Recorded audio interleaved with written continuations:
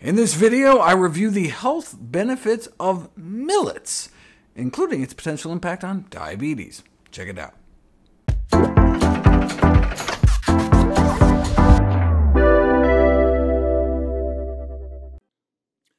Millets are highly nutritious, but vastly ignored as a main source of food, primarily due to lack of awareness. You've heard of ancient grains. Millets ain't messing around, arguably the first grains cultivated by humankind, not just dating back 5,000 years, but maybe 10,000 years. Why the plural millets? Talk about lack of awareness. I had no idea that millet wasn't the name of a specific grain. Millet is just a generic term that doesn't just apply to a bunch of different species, but to a bunch of totally different plants. There are so-called major and minor millets, there's pearl millet, uh, which is what I think most people think of as millet, but then there's proso, foxtail, and finger millets, which are all completely different grains. They look similar, but they're not the same.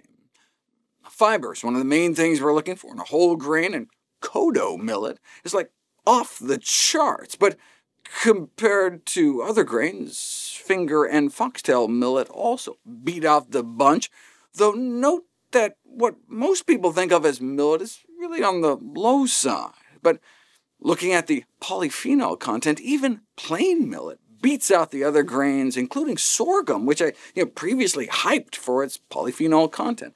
But again, Kodo millet seems to win the day. Total antioxidant-wise, though, Kodo and finger millet are comparably high.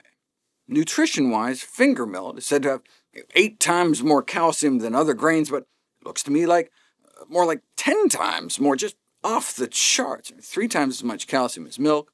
Uh, some of the millets are exceptionally high in iron as well. Regular millet is high, but barnyard millet has like five times more iron than steak. OK, so nutritious, but what about specific potential health benefits? In the medical literature, you'll read things like this. Millets may prevent cardiovascular disease by reducing triglycerides in hyperlipidemic rats? Who cares, other than perhaps pet owners, whether a food reduces cardiovascular disease in rodents? There was that epidemiological study in China that found lower esophageal cancer mortality rates in areas that ate more millet and sorghum compared to corn and wheat but that may have been more due to avoiding a contaminating carcinogenic fungus than from benefit in the millet itself.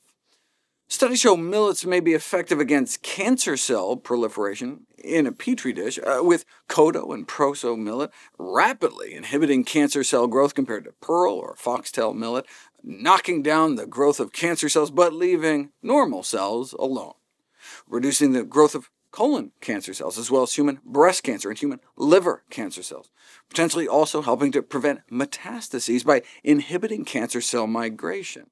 My patients are neither pets nor petri dishes, though, and to date there have been no clinical cancer trials with millet.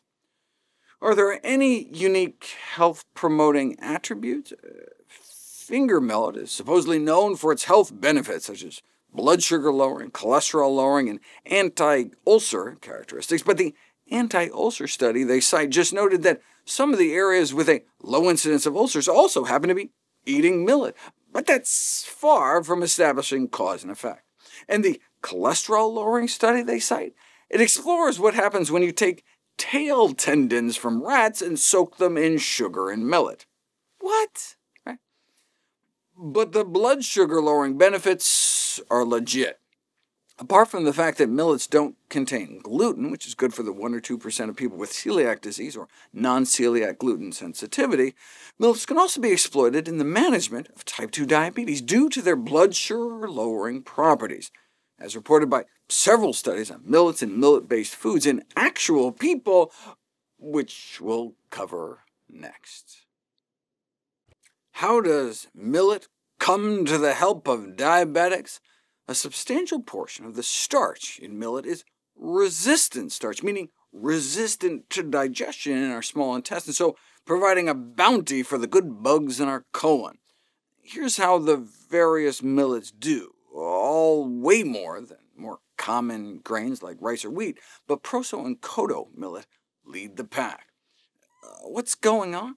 The protein matrix in millet not only acts as a physical barrier, but actually also partially sequesters your starch-munching enzyme, and the millet polyphenols can also act as starch blockers in and of themselves. Millet also has remarkably slower stomach emptying times than other starchy foods. If you eat you know, white rice, boiled potatoes, or pasta, your stomach um, takes about an hour to digest it before starting to slowly dump it into your intestines, and you know, two or three hours to empty about halfway.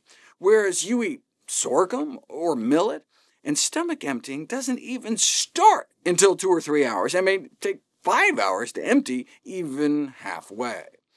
Note this was for both a thick millet porridge or for just like millet couscous. So uh, since the non-viscous millet couscous meal was also equally slow in emptying, this suggests there may just be something about millet itself that helps slow stomach emptying, which should blunt the blood sugar spike, but you don't know until you put it to the test. And indeed, millet caused about a 20% lower surge in blood sugar than the same amount of carbs in the form of rice. Remember how excited I was to show you how it only took the body like you know, half the insulin to handle sorghum compared to a grain like corn? Well, millet did even better. Give a group of pre-diabetics uh, only about three-quarters of a cup of millet a day, and within six weeks their insulin resistance dropped so much their pre-diabetic fasting blood sugars turned into non-pre-diabetic blood sugars.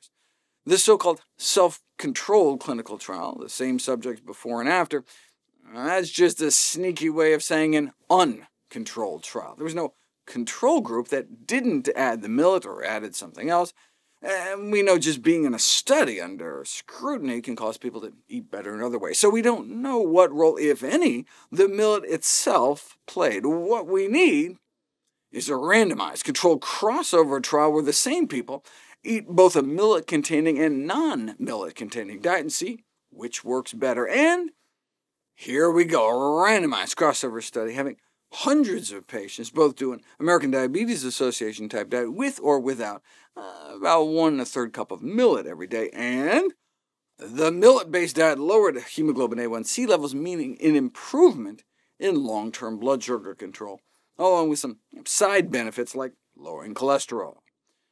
The target for good blood sugar control recommended by the American Diabetes Association is an A1C less than 7. Now, they started out at an 8.37, but after a few months on millet, dropped to an average of 6.77. Is it just because they lost weight or something? No, suggesting that it was an effect specific to the millet. But they didn't just give millet. They mixed the millet with split black lentils and spices, and we know from dozens of randomized controlled experimental trials in people with and without diabetes that the consumption of pulses, meaning beans, split peas, chickpeas, or lentils, can improve long-term measures of blood sugar control like A1C levels. So while the researchers conclude that millets have the potential for a protective role in the management of diabetes, a more accurate conclusion might be a mix of millet and lentils can be protective, though, hey, maybe the spices help too. Uh, they didn't say which ones they used, and I couldn't get hold of the authors, but a similar study done by the, one of the same researchers included about a tablespoon a day of a mixture of fenugreek, coriander, cumin, and black pepper with a fifth spice, uh, perhaps uh, cinnamon or turmeric.